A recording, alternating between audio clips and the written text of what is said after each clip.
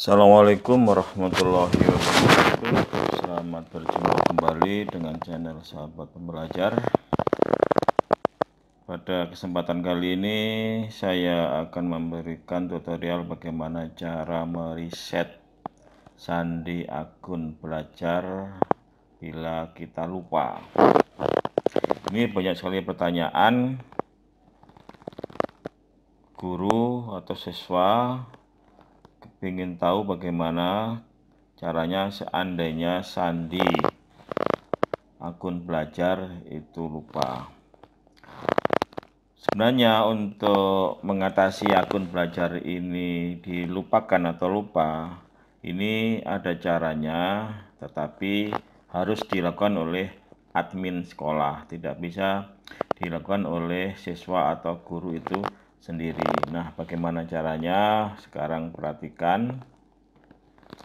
Kita masuk ke browser, kemudian ketik admin.google.com. Ini harus login sebagai admin.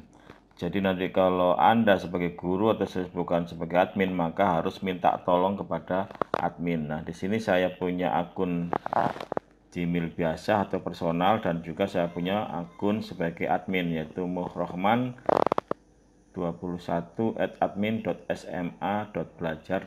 saya masuk lewat akun ini. Oke saya masukkan sandi sekarang. Kemudian saya login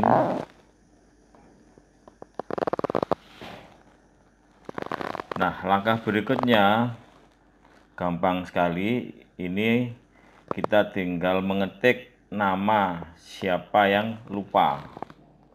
Misalkan yang lupa itu misalkan Wahyudin. Nah ini ada Wahyudin Hamzah anggap ini Wahyudin Hamzah ini lupa. Maka kita klik saja Wahyudin Hamzah. Nah, berikutnya tinggal kita klik reset sandi. Nah.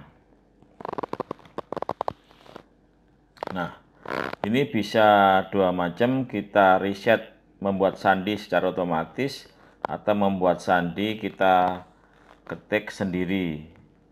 Jadi bisa otomatis, bisa membuat sendiri. Kemudian juga ada opsi nanti minta perubahan sandi pada saat login berikutnya atau tidak perlu mengubah sandi. Maka ini kita nonaktifkan ya. Kalau kita aktifkan berarti nanti harus mengubah sandi lagi. Tapi kalau ini non tidak kita aktifkan maka nanti tidak perlu mengubah sandi lagi untuk pengguna yang lupa. Oke kita ini kita aktifkan eh, ini kita membuat sandi sendiri ya. Kemudian ini kita nonaktifkan nanti nanti tidak perlu mengubah sandi misal ini sandinya kita buat seperti ini ya. Nah kemudian berikutnya klik reset.